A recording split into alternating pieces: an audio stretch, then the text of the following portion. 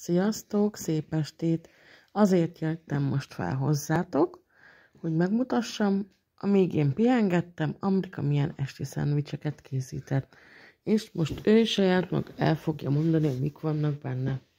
Ebben van kovászos porka, nagyon lágy, lágy tojás, azaz folyós, de egybe őrfőtt tojás, rántott hús, jégsaláta, kovászos borka, és ja, ennyi. Emellett meg beleszúrtam egy ilyen pálcikát a design kedvéért, mind a. Ebben meg van, ja, ebben még van milyen krumpli is, mind a kettőbe.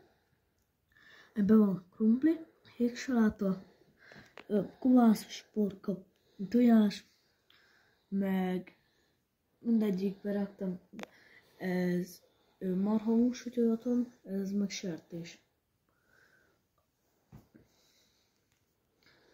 És kinek készítetted ezteket a finom szendvicseket? Anyjának és nekem.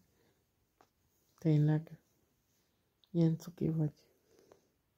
Hát köszönjük szépen a vacsit. Imádlak.